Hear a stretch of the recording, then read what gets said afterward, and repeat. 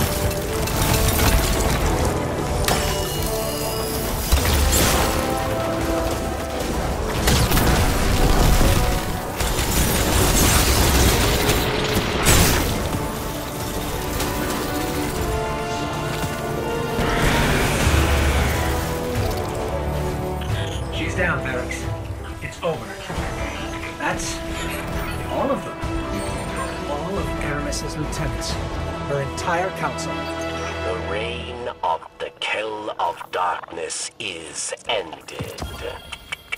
Thanks to the Guardian.